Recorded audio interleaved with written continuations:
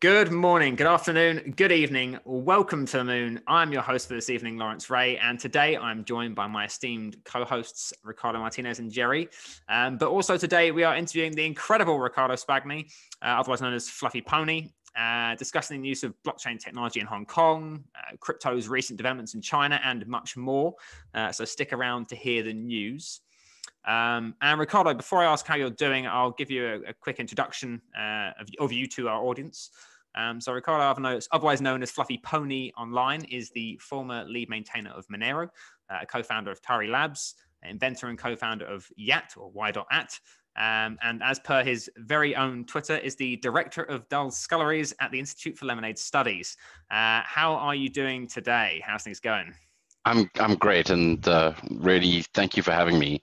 I just, I'd like to point out that you know my role as director of uh, Dull Sculleries is clearly the most important one out of everything I've done. I, I can only agree. I don't think anyone would disagree with that statement. but no, uh, we're glad to have you and appreciate you taking the time to, to join us today. Really do. Um, and uh, other Ricardo and Jerry, how are you guys doing today? I'm doing great. Um, how are you doing, Lawrence? Yeah, not so bad. In the UK, we, we had some sun for a few hours today, and it, it was it was a surprise, I must say, after this month's terrible, wet, rainy season. Uh, how about you, Jerry? How's things going? Um, I feel great. Um, not really. You know, my mood seems to you know shift with the Bitcoin price. So I'm feeling down, basically. Oh man. Well, hopefully we can pick you up. Um, and hopefully we can pick up the Bitcoin price. I mean, I don't think we do influence it very much, but looks like things are on the up in the last two hours, so you never know. Um, but yeah, I was I was editing earlier and I was just like making a video whatever, and I just saw it just dropping. I was like, oh, oh well, another day in the office. just don't care at this point. But um, yes, so well, I say we'll, we'll get straight into the pod um, and we'll kick it off. So um, yeah, uh, to kick us all into gear, we'll we'll discuss uh, some of the news that has cropped up this week, and we're going to avoid the basic, obvious stuff like PayPal's intentions and things like that. Um, but yeah, so uh, Ricardo, you had a news piece you wanted to bring up um, about, I think China. Uh, but yeah, go ahead and, and, let us know what it was. Yeah, sure. Uh, this one's from Business Insider India. It's called China's crypto crackdown intensifies. After Inner Mongolia, Sichuan energy regulators are probing crypto mining. So, a few days ago, Chinese authorities um, decided to start clamping down on companies that are running mining operations in Inner Mongolia, and they announced like fines and stuff like that for um, the companies, punishments for those that are non-compliant. And now they are moving these operations to crack down on the mining companies to the mining companies that are in Sichuan um, I think both regions have a lot of cheap hydroelectric energy from the dam projects that China has been setting up for their infrastructure. So um, this is primarily where the mining operations and the large uh, mining pools are concentrated.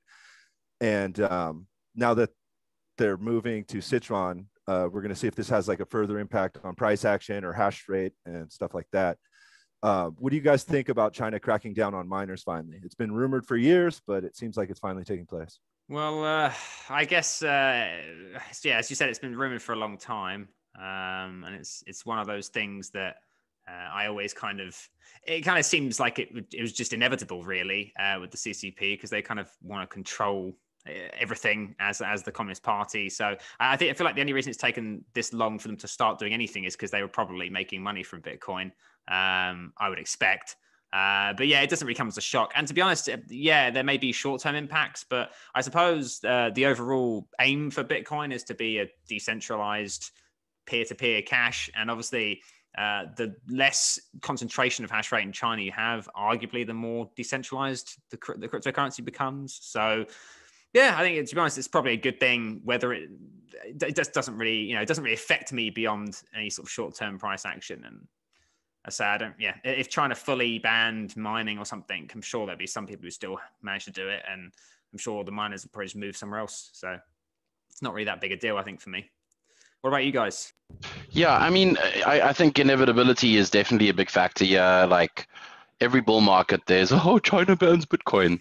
Um, so you know it's it's been it's been a long time coming that they uh, because they did clamp down previously on uh, on some mining operations.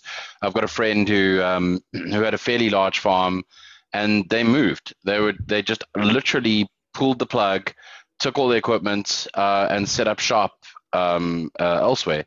And I think that's what we're what we're going to see, which on the one hand is like, oh no, that's terrible because China's got such a negative attitude towards mining. But on the other hand, all of those arguments that you keep hearing about, uh, oh, mining is centralized in China, what are people going to say now? They, mining is centralized in the world except China. They, they're going to have no arguments. Where's the Mars Mars miner? Where's the miner on the moon? You know? exactly. No, I think you raised a good point. That's pretty interesting that um, they they had a prior crackdown. I thought previously that their crackdown was mostly focused at exchanges and like uh, projects more more more so than mining. So here's my here's my thought. First of all, um, I do think the timing is you know pretty suspicious. It seems it, it happens every time there's a, been a bull run. And second of all, I'm still not sure what the rationale behind the the you know the mining ban is. Like, what would you think would be the reason why they actually banned you know mining in China? Because I'm really not clear as to why they have the ban in place. Um, I mean, I, I don't know exactly. I mean, other than just because essentially they want to have control over what their citizens are doing and prevent people from. Because if you think about it, in communism, ideolog- ide- uh, idealistically, ideology wise, you're supposed to be on an even playing field, right? The doctor's meant to make the same amount as the bin man, who makes the same amount as the bar server, whatever. Like that's that's meant to be the idea of communism, and obviously it's the Chinese Communist Party um, that runs the country. So I suppose part of their aims are usually to try and make sure that everyone is earning the same amount or whatever, and that Bitcoin miners aren't going to be raking in cash ideologically. You know, this is like, you know, in the perfect world in their eyes. Obviously, that's not the way it actually goes, as we all know. But that's like, I guess, part of what they're probably trying to do there. I guess that's probably part of it. But I suppose the other thing is that I know there's like um pressure from outside sources like other countries and the UN, etc.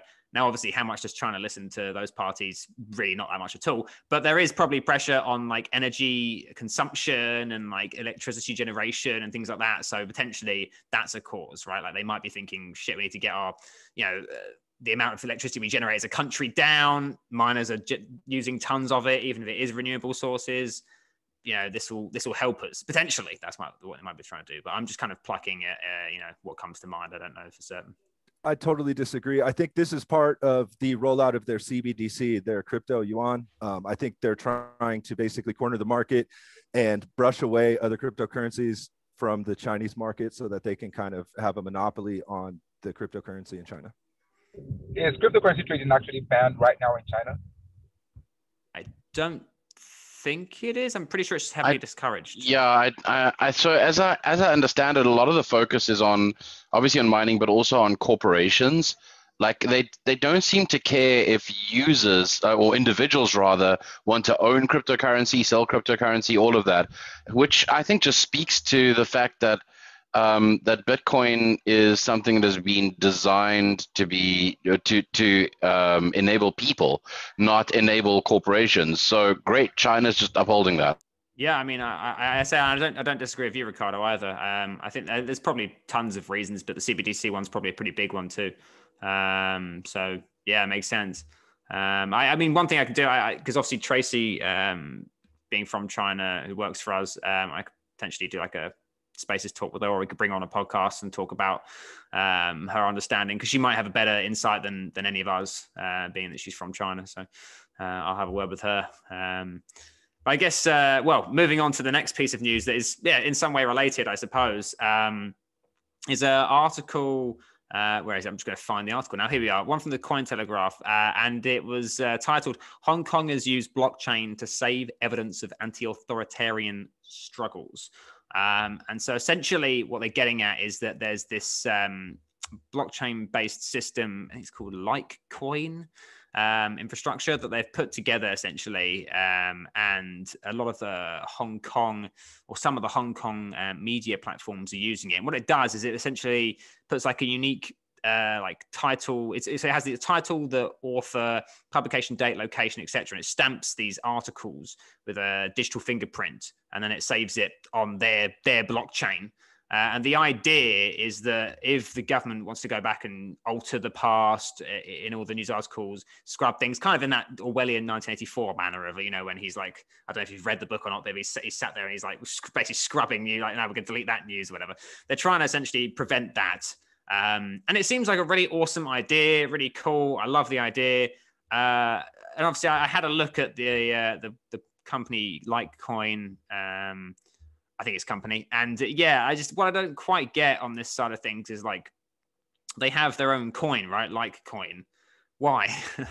like why why does it need to have its own token? I, I know why, obviously, but like I was I mean that actually surprises me because like open timestamps exists. Um and and even if you even if you don't know open timestamps stamps exists, like proof of existence stuff is like, I mean, it's it's it's been done. It's been done for nearly a decade on blockchain. And what what is really really fascinating is the proof of existence stuff predates blockchain. I mean, uh, do people do people honestly think that the first time anyone thought, hey, if only there was an immutable record that this file existed at this point in time was after Bitcoin existed.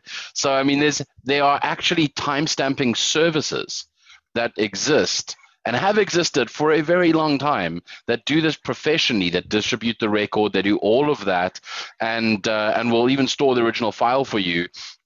And you can go back, and it's it's recognized in court. By the way, you can actually bring this up in court. I don't think proof of existence on a blockchain has been tested in court yet. Um, so none of this stuff is new. It's uh, you know, but why? It's odd to me that they'd want to create a separate token for it, unless it's for self enrichment, which is frustrating it's probably the truth, right? As well. I, this is the thing. Like, I, I thought, okay, great. Because I remember when I was doing like my, uh, I to like a, a, blockchain and crypto course like years back when I was trying to learn about you know Bitcoin and understand what you know, what it was.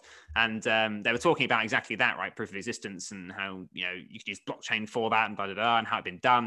Um, and I thought, okay, this is cool that like a group of people potentially in Hong Kong were getting together to specifically try and do it for Hong Kong as like an area because of all the political issues and stuff. I thought, okay, that's a great idea. They're all teaming together to get this on to.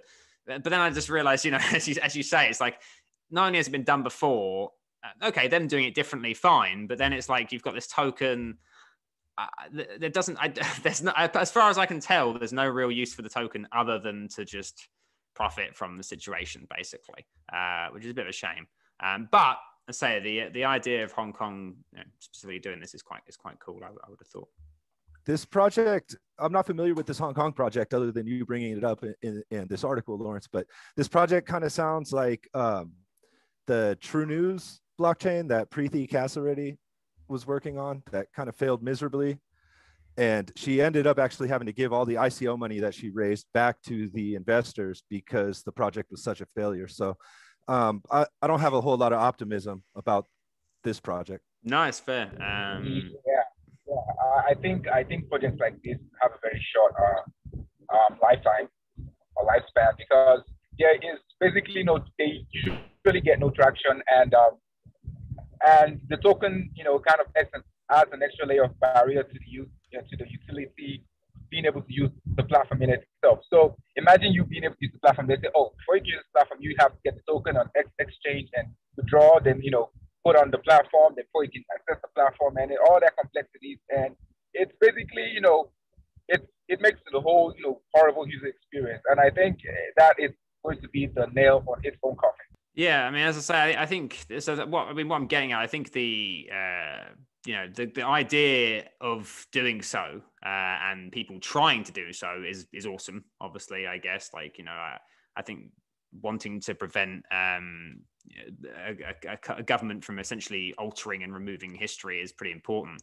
But um, as you guys are saying, this is where my my issues kind of rang in. Was like, well, what's going to make this succeed? And them having a token and their own specifically tailor-made blockchain it just seems like a bunch of crap so um, that was my conclusion from reading it um, but it sounds like everyone here kind of agrees on, on that level um, but yeah, I, Jerry, have you got any news you wanted to bring up, or are you uh, are you all good to move on to you know the most important part of the podcast? Yeah, please let's move on. Really want to hear what um, Fluffy has to say.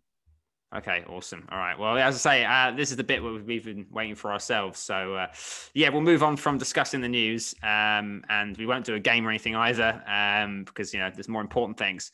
Um, so we can talk to Ricardo Fluffy Pony, um, and uh, yeah, basically bombard you with uh, our questions we've wanted to ask you uh, about uh, multiple different things. Um, bombard away. Okay, fantastic. Thank you very much. Uh, first one being, can I get a Tari waffle? No, I'm joking. But the Atari waffle makers, by the way, just awesome. I was looking at these the other day, and uh, yeah, I ended up getting some some diaries instead because they were the only one of the only things left. But um, that is the coolest uh, merch I've seen in quite a long time. I have to I have to give you props there. Um, but yeah, first actual question I've got for you. Um, so yeah, I guess this is something I was thinking about when it comes to like the uh, the cryptocurrency world. Uh, you've done quite a lot already, um, considering the industry is basically just over a decade old, arguably. Um, and first off, you're still contributing to the Monero project, um, and you were previously the lead maintainer of that project. Um, but yeah, if you can like take a, a trip down memory lane, um, I guess it'd be interesting to hear um, your side or your thoughts and or your explanation on like how not only like how you discovered Monero, but like what was it that specifically made you dedicate like a chunk of your time and life to it? Like, I guess what clicked for you yeah. that made you think this is it? Like, this is what I want to do. So I guess a combination of things. You know, the, the first is um, like I'd, I'd been in Bitcoin since I first started playing with Bitcoin in May 2011. Um, and Monero came on the scene uh, early 2014. Um, and what attracted me to it was like, oh, cool, it's you know, it's got a got an anonymous founder. That's great. You know, that's always a, a good starting point.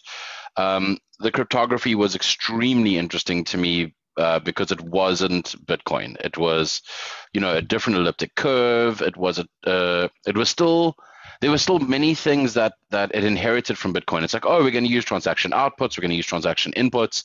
We've got proof of work. There's all this stuff that's like um, that that's that's similar to Bitcoin, but then it's like, well, and then we're going to turn it on its head and use like dual key stealth addresses and ring signatures. And I was like, mind blown. At the same time, it was also during this like weird part of um, 2014 uh, where like everything that listed on Poloniex would pump and then dump.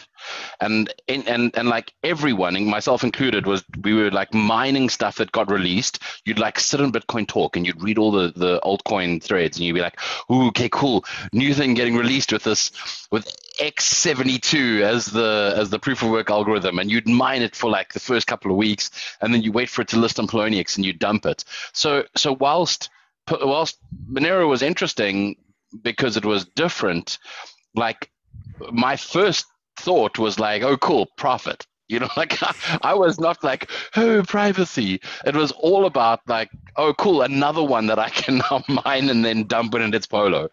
And what I what I didn't factor into it was the fact that because Monero wasn't based on Bitcoin's code base, that actually adding it to anything like any exchange was going to be a total nightmare. So like, of course, I didn't. You know, you don't think about that. You're just like mine, mine, mine, mine, mine.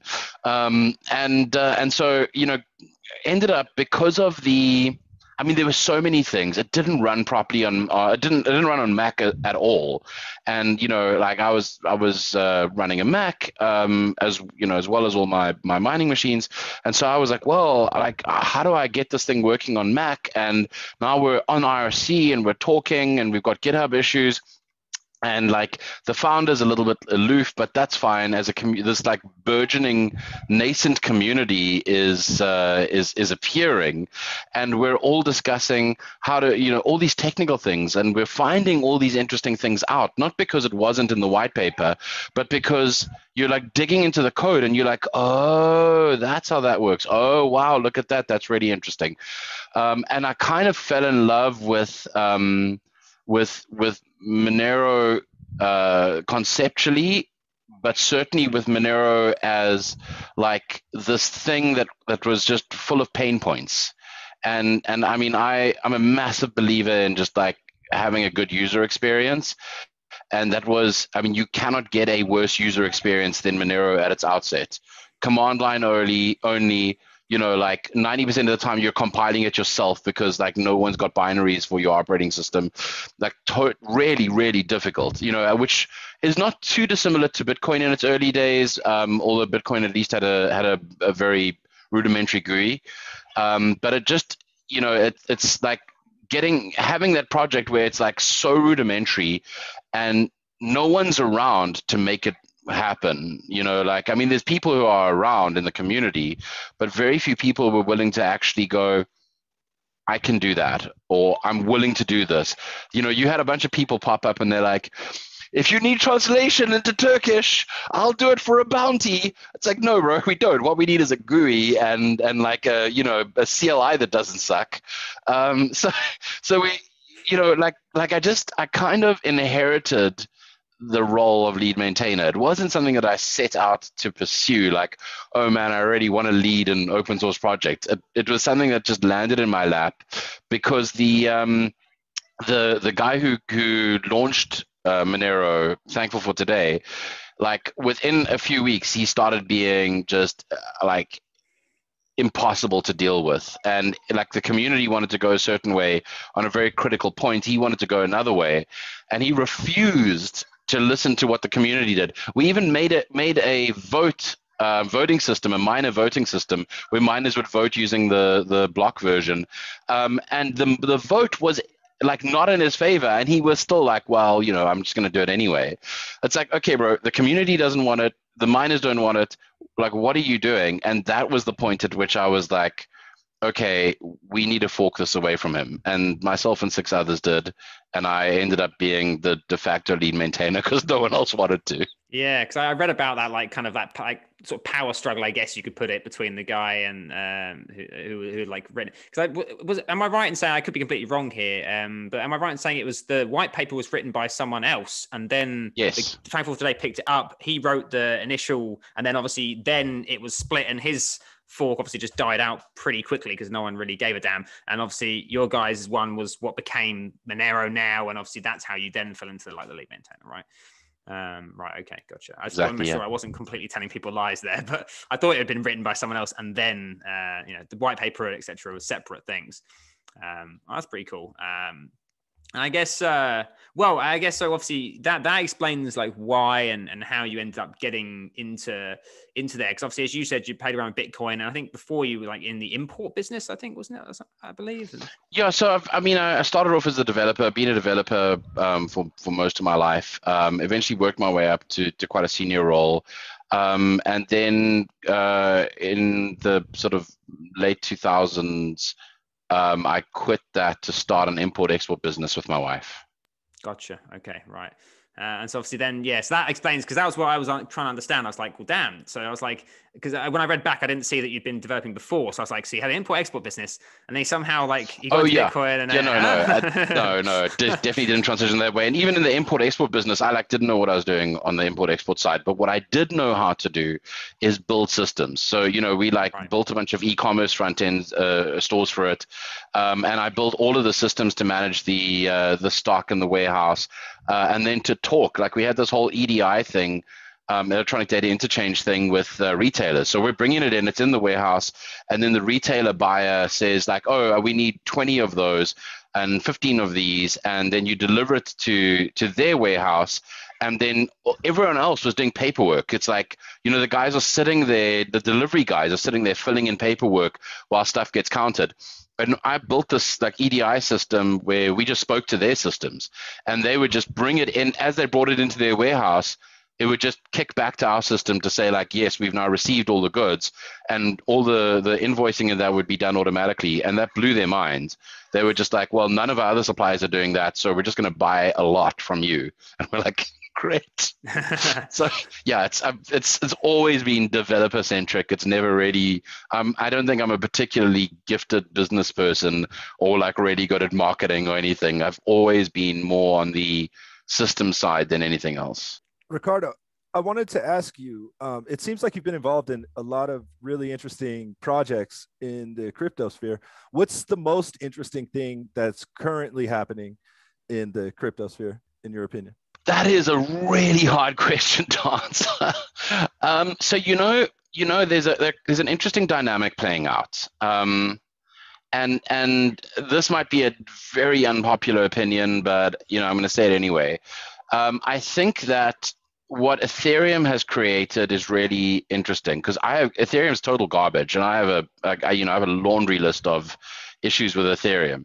But what it has created is an environment where you can be a JavaScript developer who was doing, you know, Shopify websites yesterday, and today you're a smart contract developer, and and so there have been a there's just been a string of um, of innovation uh, on you know in terms of projects being built on on Ethereum, and there's also been a string of of just mess, right? I mean, like 99% of it is mess, and then there's this one percent where I'm like, wow, that's actually really cool, um, and uh, and that does not by any means mean that that that one percent is well architected, um, you know, well thought through or anything like that. But it just there is there is definitely a slither of interesting stuff being done, and what I'm finding really interesting is like the the the projects that are now spinning up um, in the Bitcoin space and elsewhere uh, that are saying like that are recognizing the same thing. They're like, oh wow, that's really interesting. What if we did it properly? I don't know.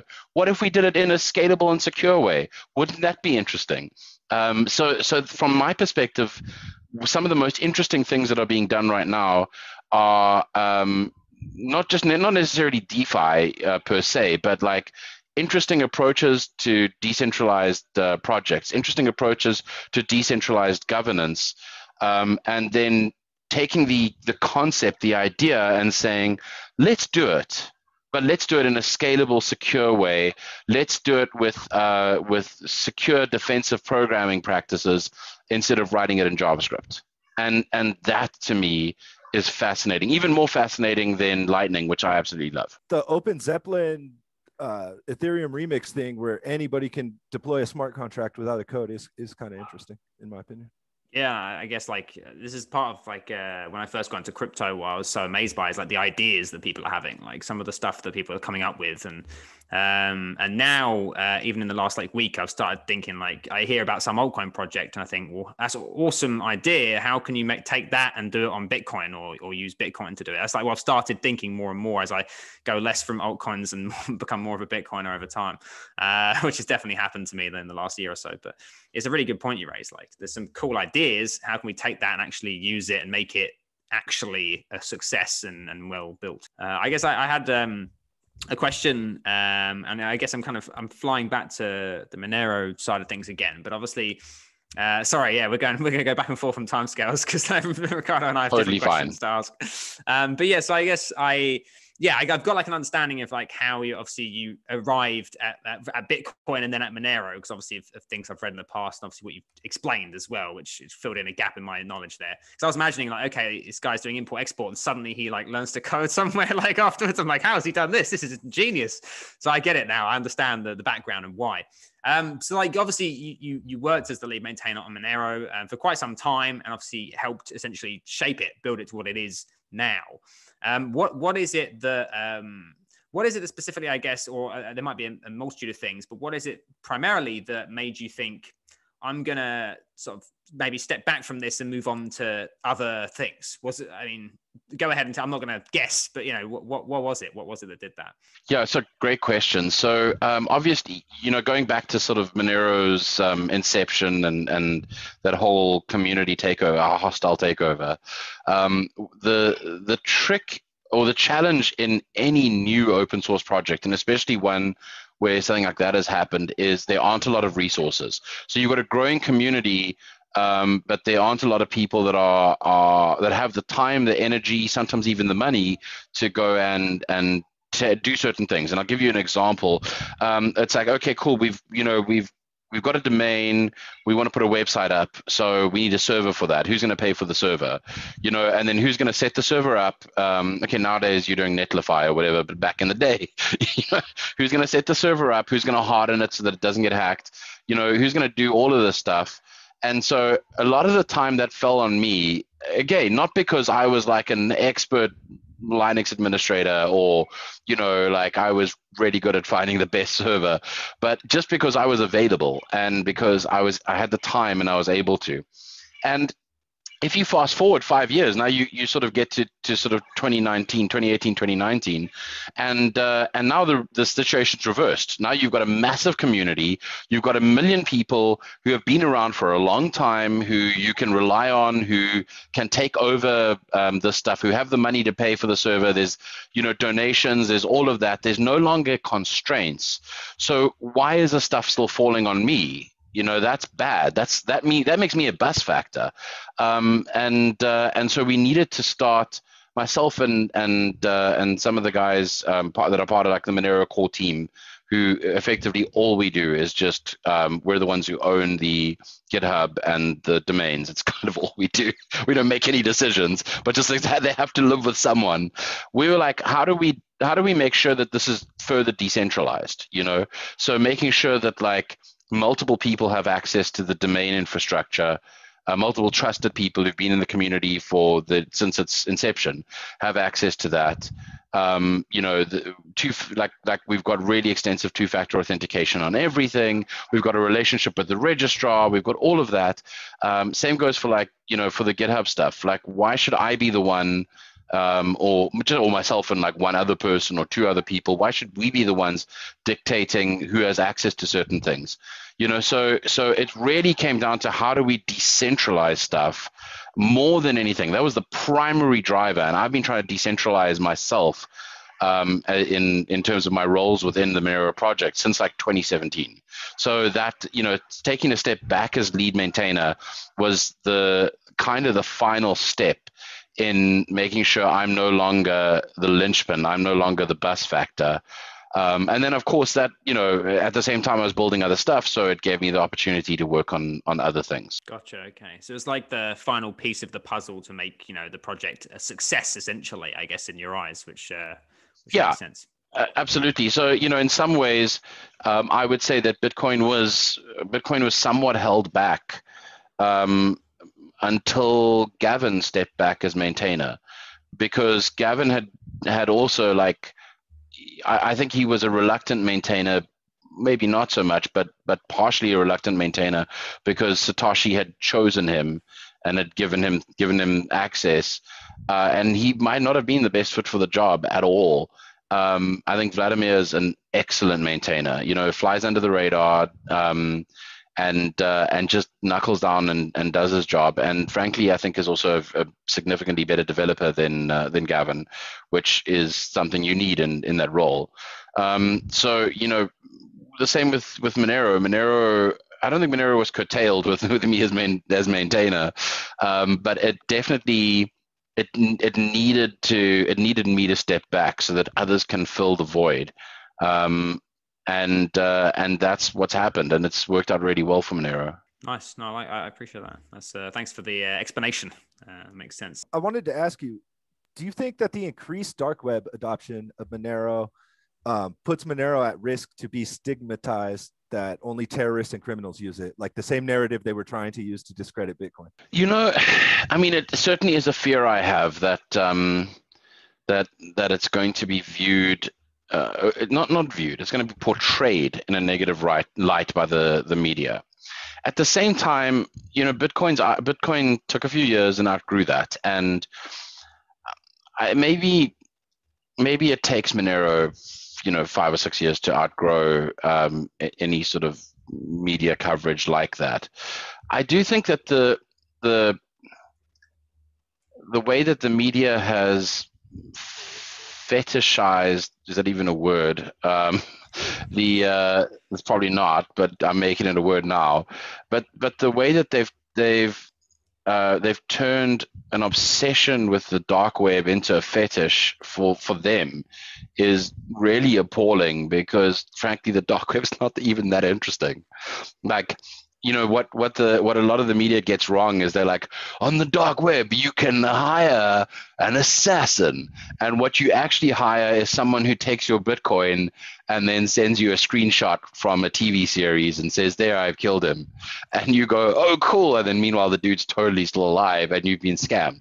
Like, obviously, scammers are going to go there because they're being paid in, like, you know, untraceable, irreversible currency. Why would they not go and scam you there? It's the best possible place. Also, because you're buying illegal stuff, you're not going to go to the cops and be like, Oh, I tried to pay for an assassination and, you know, the guy didn't deliver. I'm going to, I'm going to write a report for the, on the Better Business Bureau. It's not acceptable. Worst assassin ever. You know, like, it's like, it's like the perfect crime. Like, why do people not realize this? And the dark web is literally 99% scams and then like 1% people buying weed because they can't get it anywhere else. Like it's it's not interesting at all, um, and it certainly does not work that the way uh, the way that TV series and movie writers think it works, and it doesn't work that the the way that most um, most journalists think it works.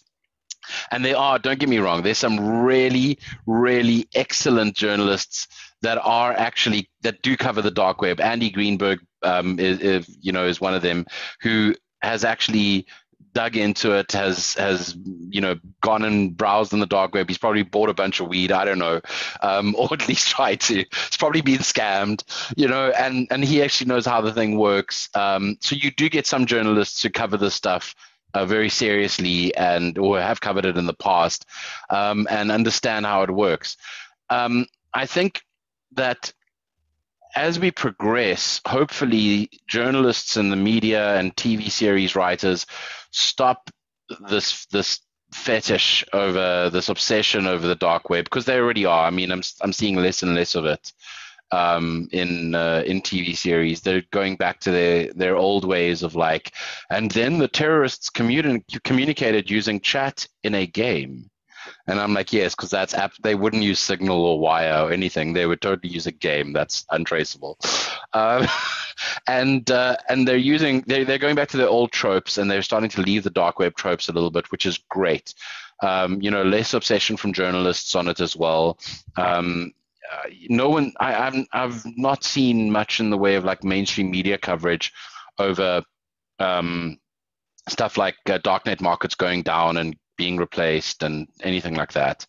So you know, I think that that's that that's probably good because it means that they've realized that it's actually significantly smaller and significantly less interesting, I'd argue, than the actual criminal underground that does stuff like sex trafficking and all sorts and actual assassinations and all sorts of other things and they use cash you know or gold or diamonds um, and they do things in person, not over the internet, hidden in someone's mom's basement.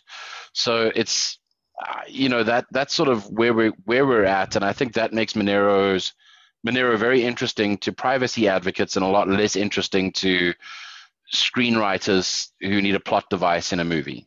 Yeah, that's uh, yeah. What you say about the the, the dark web, deep web, whatever, is like uh, mirroring my discovery when I was like, I can't remember how I would have been 14, 15, whatever. I'm like, oh wow, this sounds so cool. I'm gonna go find this. Yeah, download Tor, and then it was just like the disappointment when I got in there. I thought, yeah, this is actually a mess. Like nothing's indexed, and it's actually quite hard to find anything, and it all looks like yeah. really scammy. Like as if I'm yeah. going to get like a, a MacBook that fell off a truck for like ten pounds. Like oh, it, the MacBook, the MacBook that fell off a truck thing on the Hidden Wiki. I remember seeing that, and I was like, oh man, this is so cool. You'll be able. And then I thought about it, and I was like that's not real, is it? Yeah. Nah, people are getting scammed. It takes like 10 seconds, doesn't it, to think, well, actually, wait a second, like, how am I gonna, how am I gonna, this is not happening, is it? It's like they're, they're, gaining nothing by saying this to me. They should just go, they could go on Facebook's, you know, marketplace and sell it for cash to someone and it'd probably be better for them. But um, yeah, it was, um, yeah, quite a discovery, I guess. Uh, but yeah. interesting, interesting, point, yeah, you raise, and it's like uh, as you say, film and TV, they get obsessed with something, don't they? Like I remember when I was growing up, it was always about games, like you know, they had that Manhunt, whatever it was, and how this is ki- children are going to kill each other, and this is the sole cause, or whatever. And uh, uh it's always this stuff they fixate on, or you get like uh, with films, it's like a lot of stuff is just it's like uh, yeah, you can whack someone around the back of the head, and they're going to be fine. It just knocks them out for a little period of time. That's using yes. every film in existence. No, no concussion at yeah. all. No need to go to the hospital hospital. Nothing, no death. But in reality, it's you can't just go bonk, bonk, and then just. But anyway, yeah, it's. Uh, I think you got it right there with the the dark web narrative and stuff like that from the media. Uh, Ricardo, first of all, that have to you know applaud your honesty, especially when you said that you, you, you got into Monero because you were trying to make money. Um, did did you have any you know prior interest in you know, privacy you know in any way you know before you got into Monero? Yes, yeah, absolutely. So, I mean, like before Monero even existed, um, uh, I've been a, a long time um, fan of Tor and of I2P in particular. Um, mostly because I have always had concerns over like my personal privacy and you know the like I, I spend a lot of time compartmentalizing between stuff that I'm happy being public and stuff that is private between myself, my wife, my family, whatever. Uh, I think people struggle with that. You know, they post pictures of their children on public Instagram profiles and you know then they're surprised when like there's a kidnapping or something. They're like oh how did they even know we were at the park? Well because you posted a picture of you at the park five seconds ago. You live streamed it. I mean like what do you expect so you know i've i've always had this like me- ability to mentally compartmentalize it and uh, and my wife and i um, have been big big proponents of that. You know you, this is the stuff that we uh, we're happy being public. This is the stuff that we're not. And so privacy technology is kind of an extension of that you know. When i'm chatting with people in the industry about random nonsense i'm happy to do it on telegram when I'm messaging my wife or my parents or my sister or anyone in my family, I'm doing it on Wire. As much as they hate Wire and are like, oh, it's so painful to use, can't we use WhatsApp? No, we can't. We're not using WhatsApp. We're using Wire, um, and uh, and so that that you know, te- the technology sort of lends itself towards that. Um, also, before Monero existed, I uh, was a you know I worked on Anoncoin, which was kind of the first attempt at like doing some privacy stuff that was, uh, I mean, it was a fork of Bitcoin and uh, unfortunately ended up largely being disinteresting. Um, but at the time, there was, you know, lots of really interesting stuff that we were trying to do. Um, you know, hooking Anoncoin into I2P um, was was the one thing, but then actually, you know, adding stealth addresses and that was the other. Um, so yeah, like before before Monero came around, I had a, a big interest in it, um, and uh, and Monero was kind of Monero did did in, to some degree flip a switch and force me to double down and to really dig into um, not only like the the social aspects of it, like why is privacy so important? Um, who does privacy help? Who does it hurt? why why is the default f- for designers and, and developers not privacy first? You know why why is everyone just like oh let's capture all the information. That'll totally be fine. You know thinking through a lot of these these issues and then of course the tech the technological stuff. You know thinking through very arcane very difficult to execute attacks. If you're a nation state and you want to have access to privacy enhancing systems like on a broad scale, how do you do that? Well, you know, you form an industry body like NIST, and uh, and then you you indicate, you know, which um, uh, pieces of cryptography you recommend, and you do that because you have this information arbitrage. You know, you you have uh, total information asymmetry where you know which pieces of, of cryptography are weak and so you can make recommendations um, to to the world to use things that are broken in subtle ways that only you know about, which NIST has done in the past, and I think they've gotten better. But still, you know, like understanding why certain um, certain choices are, are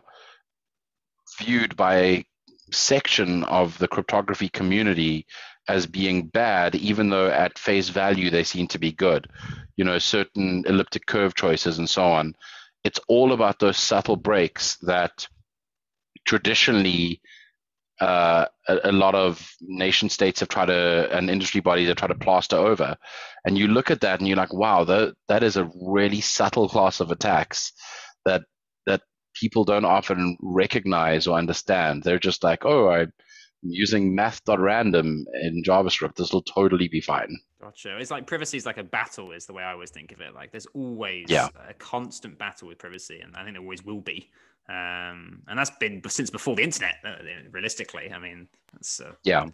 And what and what what technology has really created is, you know, in fact, that battle analogy is really good because a lot of the attacks that that I think of that that I ideate on um, and think about ways to prevent are not the the ones that you might expect. You know, if you're if you've got an actual battle between two armies, like yes, they can run at each other in on an open battlefield and and shoot and tank drop drop bombs and shoot with tank guns and all that stuff.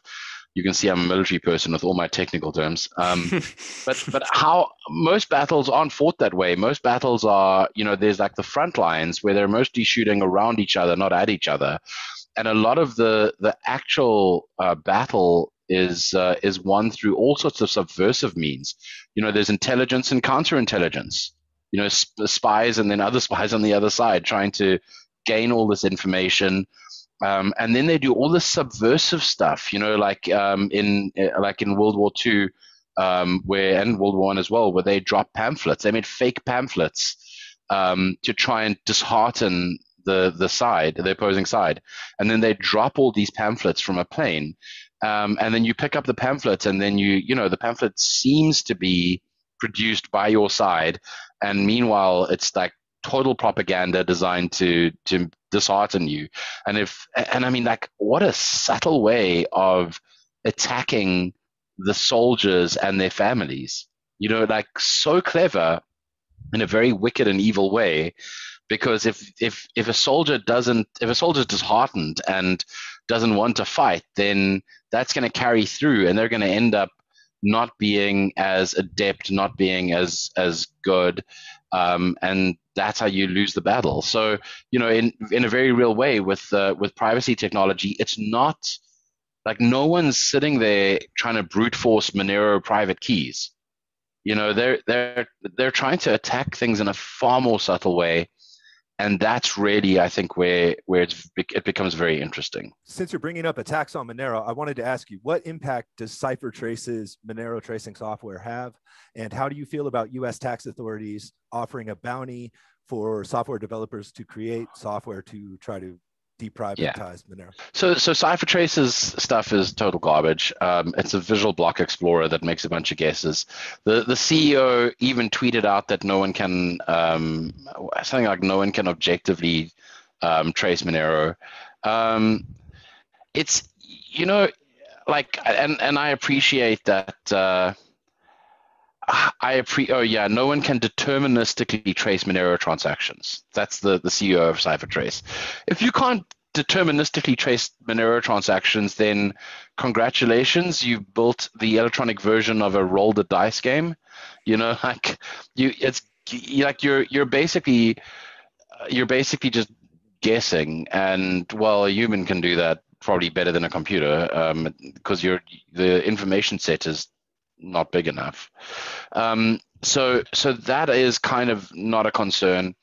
Um, I think the IRS is also kind of defocused. You know, like they want to they want people to pay their taxes. At this point in time, and, and I would imagine that even for the foreseeable future, no one is earning Monero and then paying their rent in Monero and then buying a Ferrari in Monero. That's just not happening. So nothing is happening outside of of the traditional financial system.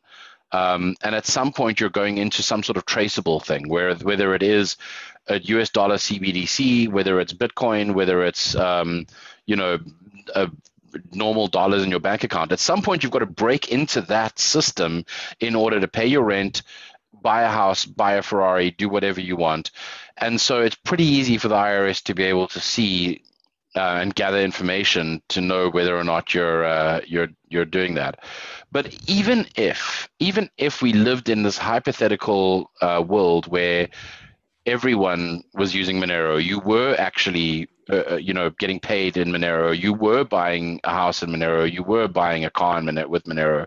Even in that world, the IRS still has lifestyle audits.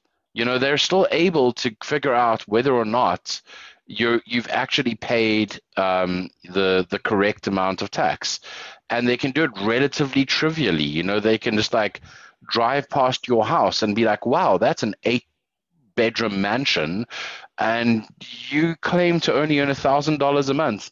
Hmm. You know and and really the analog is if you go back in history at what point was the irs able to trace things electronically? The 80s maybe? I would say probably the 90s they started really getting a handle on being able to trace people's uh, financial transactions electronically. So are you telling me that before like the 90s the irs was totally unable to enforce tax regulation? Well that makes no sense. I mean obviously they were able to. So you know how? Oh well you know traditional methods like your neighbor um, uh, you know getting audited and the irs auditor looks over the yard and says huh that's weird that the guy's got tall ferraris in the in the garden. You know like i mean it's it's uh, these methods exist, and and there's no need to even trace Monero. So I think. Um, I think that there's just the problem is they've had so much visibility on people's transactions that they've been spoilt, and now they're like, "Wow, we need that for everything. We we need that for Monero. We can't live without it," which is not the case. And I think that they're going to end up realizing that eventually. I hope so, anyway yeah the fear it's, it's interesting because like it's like the the government's like ability to control or, or their abilities have grown so massively with the internet that suddenly to have something taken away it feels like you're kind of going whoa straight back in like archaic times of the 70s or whatever. It's, it's almost yes, it feels like the archaic times where we wrote checks out and, and posted them in the mail.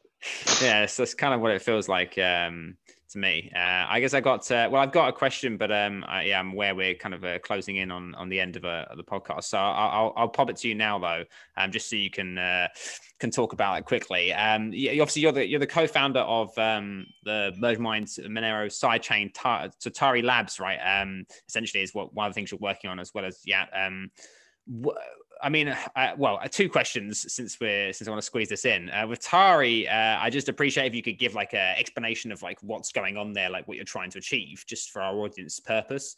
Um, and then once you've done that uh, with with with Yat or why don't I don't know how to say it yet, but um, with that, uh, I just I'd just be interested to hear because obviously that's pretty simple in, in what it is, right? Like it's uh, at its core, it's just you know um, emoji string that it becomes your unique identity or whatever online that you can then link to. So how where did that idea come from? Because it's quite like a fun, unique kind of different thing essentially. So I just wanted to hear an answer to those two questions basically.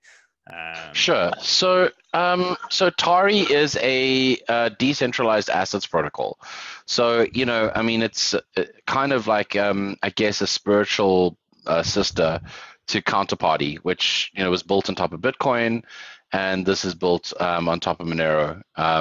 Uh, you know, so it's merge mined with Monero, and uh, and one of the things that we that that one of the beliefs that we have at Tari Labs is um, that the user experience needs to be excellent, and that's kind of what led to to uh, me inventing Yat was this whole idea of like how do we get away from the very terrible user experience that is like Bitcoin and Monero and whatever addresses. They're really bad, and uh, and so I ended up like with this idea of couldn't we use emojis, and uh, and that's what we've done in Tari. You know, your Tari address is a 33 emoji long thing, which you know is a full 256-bit private uh, public key rather, um, 32 characters for the public key, and then a, an extra character for uh, the checksum.